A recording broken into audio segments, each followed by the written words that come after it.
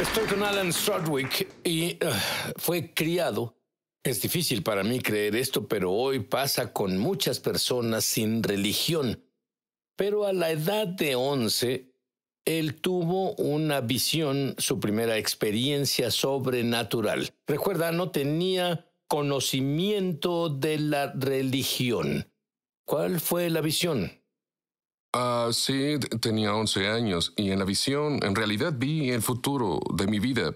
De hecho, me vi como en realidad de 40 o 50 años, em, ministrando a las personas de traje y predicando y enseñando y cosas así. Y ah, lo interesante fue que cuando yo, ah, esa visión fue casi como si estuviera inconsciente y luego de pronto estaba consciente. Lo primero que pensé fue, ¿qué hago de nuevo en mi cuerpo de 11 años? ¿Qué hago aquí de nuevo? Fue como, Volví en el tiempo y no entendía eso. Por unos tres o cuatro días eh, estuve desorientado. No sabía qué era. Supe que era sobrenatural, pero no sabía qué era. Ahora, tu padre entiendo que era un hombre de negocios exitoso. Sí, y tu lo era. madrastra amaba a los gurús y la nueva era. ¿A qué edad comenzaste a tener los mejores gurús del mundo viajando a tu a tu ciudad y enseñándoles a ti y a tu madrastra en su sala. Tenía 13, era muy joven, pero debido a que tuve esa otra experiencia, eh, comenzaron a traer a esos gurús y líderes de la nueva era a enseñar. Solía... Yo solía sentarme en la sala mirándolos, escuchándolos. Ah, estaba con ellos y ellos me enseñaban todo lo espiritual y así entendí esa primera experiencia. El hinduismo tiene una cultura en la que creen que el alma continúa viniendo a la tierra a reaprender a través de la reencarnación. Y esos gurús pensaban que yo llevaba aquí más de 300.000 vidas, que estaba muy evolucionado. Y eso atrae a tu bueno, ego eso cuando atrajo niño. mi ego, sí, en especial a los 13. Muy evolucionado. Exacto. Y lo que pasó es que mis padres acordaron, y también yo, que me volvería un iniciado bajo ese gurú. Y por cada año él me daría un dios hindú que iniciaría en mi cuerpo y yo evolucionaría espiritualmente cada año. ¿Y cuál era la meta final que ellos te enseñaban? Bueno, la meta final creo que era doble. Una era ser espiritualmente avanzado, que cuando muriera yo pasaría a ser parte del universo o nirvana. La segunda era que pudiera volverme tan avanzado en conocimiento y enseñanza espiritual que pudiera afectar al mundo e intentar atraer paz al planeta. Ahora, a la edad de 22, él fue invitado para ser un facilitador. Esas reuniones secretas en las que te preparabas, ¿qué eran? Bueno, algunas de las reuniones secretas a las que me invitaron cuando era un líder fueron, querían, número uno, querían saber cómo desarrollar estrategias para, para afectar a los cristianos para que adoptaran nuestro sistema de creencias. Esa era la número uno. Y la segunda, infiltrarnos en eh, el mundo a través de todo tipo de esferas de vida, para que pudieran llevar sus principios a todo el planeta y finalmente traer un nuevo orden mundial y una nueva religión mundial. ¿Y esto fue hace cuántos años? ¿Dónde te Fue de hace esto? 25 a 30 años. ¿Tenían una meta? La meta era que en 30 años mi gurú creía esto, que en 30 años puedes cambiar una cultura. Y su creencia era que en 30 años de aplicar estas estrategias, llegaría un momento en el que el mundo estaría listo para un nuevo orden mundial o un nuevo reinicio o ah, los cristianos debían evolucionar a un nuevo sistema de creencias de la nueva era. Así que han pasado 30 Exacto. años. ¿Fueron exitosos? Sí, creo que sí. No me gusta decir eso, pero creo que sí. Actualmente en esta temporada veo que los cristianos están siendo engañados. Y muchos ni siquiera saben que son engañados. Eso es el engaño. Era un maestro falso intentando cruzar a los cristianos a la nueva era, porque pensaba que era lo que debía hacerse. Y como facilitador, exactamente qué hacías. Ah, bueno, ah, desarrollamos cursos de entrenamiento en desarrollo personal y en negocios, e incluso en cosas espirituales de cómo introducir las creencias hindúes a esas personas para que sus vidas se transformen y cambien. En realidad, creíamos que podíamos mejorar. Y así es la palabra operativa, porque tú viste que lo que enseñabas era bueno, pero que el fruto era malo. Viste lo opuesto de este amor y amabilidad que había en las personas a las que enseñabas. ¿Qué hiciste al respecto? Estaba, estaba confundido, porque sí, vi personas terminar en el psiquiátrico y deprimidos y Mm. suicidas, dejando a sus familias y esas cosas. Y pensé, esa no era mi intención. Pensé que debían mejorar, así que dije, mejor le pregunto a mi gurú, mejor le pregunto qué sucede. ¿Por qué no está funcionando? Cuando hice eso, su respuesta fue muy simple. No me gustó, pero fue muy simple. Él creía que la energía, la energía espiritual que atraíamos al planeta, a las personas, estas personas no habían evolucionado lo suficiente para obtener la energía Ajá. o ver la energía y por eso tenían problemas. Muy bien, tú eras un facilitador. Le dabas a las personas un cuestionario para que los ayudaras y un día, por alguna razón, decidiste llenar el cuestionario. Sí, pensé, si seré su facilitador, quiero llenar esto. Pero fue engañoso porque una de las preguntas era, si pudieras hacer o tener lo que fuera, ¿qué harías? Y como estaba confundido en ese momento, dije, quiero una respuesta, quiero una respuesta. Hay un... hay- él le hablaba al universo, no sabía Mm. nada sobre Dios o Jesús. Y, y cuando hacía eso y en ese seminario, tuve una visión abierta. Nunca tuve una visión así. Tuve una antes del futuro, pero nunca así. Yo daba la clase, pero justo ahí en el cuarto fue cuando vi a Dios. Ahora no sé cómo sabía que era Dios, solo sabía en mi ser que era Dios. Era como una silueta llena de luz. Pero lo que era más asombroso es que a su costado derecho, y yo no sabía nada sobre la Biblia, nada de nada, pero era Jesús, sabía que era Jesús, estaba al lado derecho de Dios. Comenzó a hablarme, comenzó a decirme cosas sobre mi vida, sobre mi futuro, y era como una persona real, y podía verlo aunque él brillaba. Luego de pronto Sid, él dijo, Incluso lo siento ahora. Él solo, él dijo fuertemente, estira tus manos. Estiré mis manos y unos rayos de luz casi volaron de él hacia mí. Y a través de mis manos era como electricidad. Él dijo, ya no sanarás en tu poder u otro poder. Sanarás en mi poder en el futuro. No entiendo, Alan. Tú eras líder de la nueva era. Tuviste una visitación, una visión de Jesús y Dios Padre. ¿Y qué hace uno con algo así? Lo sé, estaba muy confundido y no sabía qué hacer. Y el primer pensamiento que tuve fue el ir a una iglesia. Esto fue porque seguía pensando como creyente de la nueva era.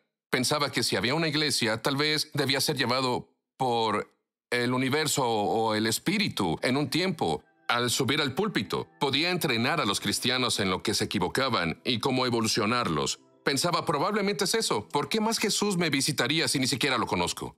¿Y tú fuiste a la iglesia? ¿Qué pasó?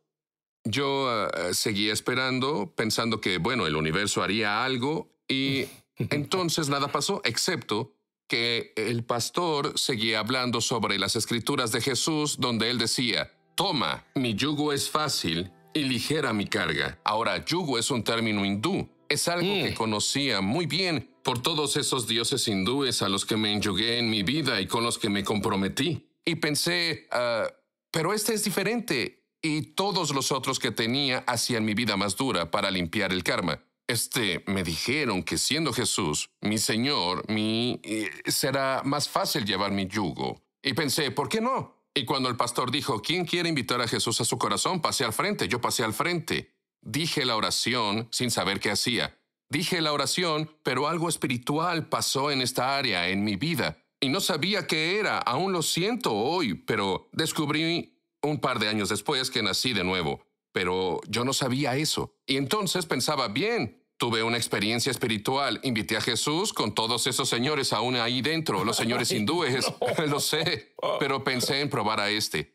Así que leí la Biblia y durante los 12 meses seguí con mis prácticas haciendo todo lo que debía hacer en la nueva era, incluso haciendo seminarios, pero esta vez iba a reemplazar todo lo que pudiera con Jesús. Y cada vez que cantaba, cantaba a Jesús internamente, su nombre, no los dioses demoníacos. Luego, lo que también hacía era orar. Si enfermaba, buscaba lo que él decía, imponer las manos en el enfermo. Así que me imponía mis manos y era milagroso, sanando al instante.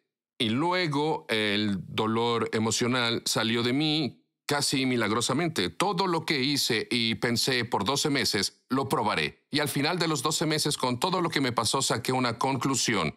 Él era un señor más grande que los demás. Fue la revelación que tuve en ese punto. Y entonces quería decirle a todos sobre Jesús. Así que dediqué mi vida a enseñar a las personas espiritualmente y cómo cambiar sus vidas para mejorar. Ahora conozco al que en realidad lo hace y su nombre es Jesús. Él desarrollaba su crecimiento en Jesús viendo que Jesús es real y simultáneamente enseñaba la nueva era. No duró tanto. ¿Qué pasó? No, las personas se levantaban y dejaban mis seminarios en cuanto mencionaba la palabra Jesús y toda clase de cosas raras. sí, pero tus líderes, tus gurús, ah, mi gurú, pensaban? Bueno, iré a decirle. Estaba tan emocionado por decirle a mi gurú que encontré un señor que era mejor que los otros señores. En realidad estaba ante él y físicamente se manifestó al punto en que vi un rostro demoníaco en él por completo.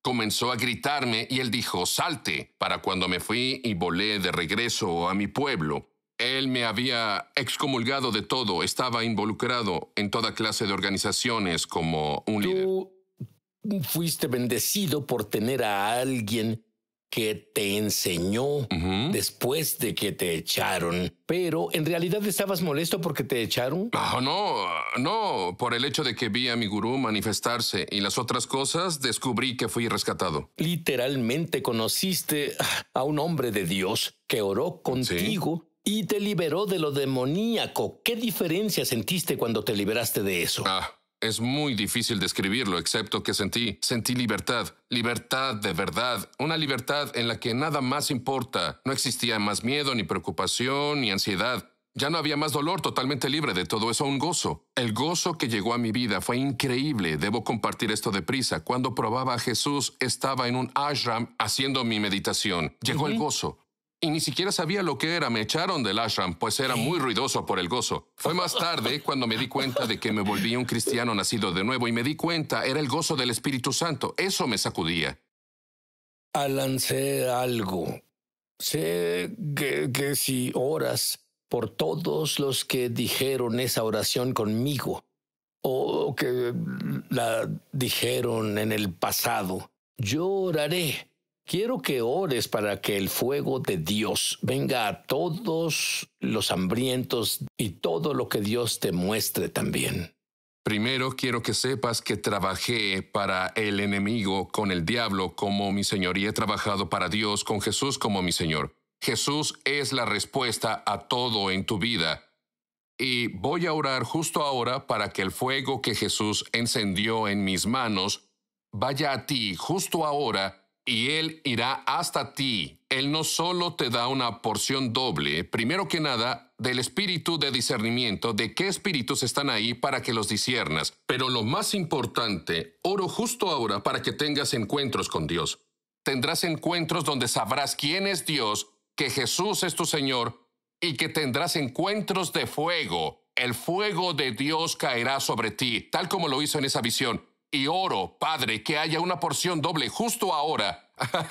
una porción doble de personas que conocen el gozo del Señor que caerá sobre ellos. Una porción doble del espíritu de la revelación y el espíritu de la iluminación y conocimiento caerán sobre ellos para discernir el futuro y lo que Dios tiene para ellos. Padre, en la autoridad que pusiste en mí, ato todo temor, toda ansiedad y toda depresión porque son espíritus, y los ato ahora en el nombre de Jesús. Lo que ato aquí está atado en el cielo. Serán liberados. Las personas serán liberadas del espíritu de temor justo ahora. En el nombre de Jesús, tomo autoridad para que los dejen. Deben dejar su vida y el fruto de su liberación se cumplirá. Oro para que al conocer a Dios, no solo la creencia de Dios, sino el conocer a Jesús, que justo ahora les dará un propósito para lo que deban hacer desde este punto. Creo que hay varios de ustedes que justo ahora reciben descargas de su propósito divino de Jesús. Algunos incluso reciben visitaciones justo ahora del Espíritu Santo y su presencia, e incluso en la forma física de Jesús en su cuarto, dándoles tareas, dándoles un corazón que es empoderado por el fuego de Dios. Ahora eres parte del remanente y avanzas adelante y llevas el conocimiento de Jesús al resto del mundo. Amén. ¿Sabías que al suscribirte a nuestro canal de YouTube vas a recibir todas las prédicas más recientes y poderosas que van a bendecir tu vida? Dale clic a la opción de suscribirte y activa las notificaciones para que seas el primero en ver nuestro contenido.